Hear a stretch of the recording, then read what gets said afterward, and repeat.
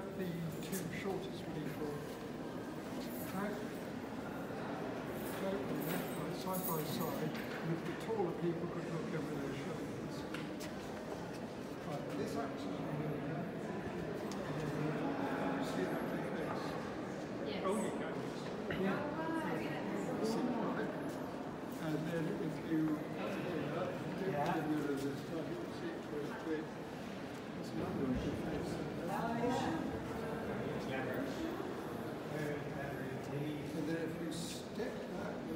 The What are you talking? and then if you come forward a bit, on the chest, there's another ugly face. Yes. And then up there, the eyeballs are in the shape of skulls.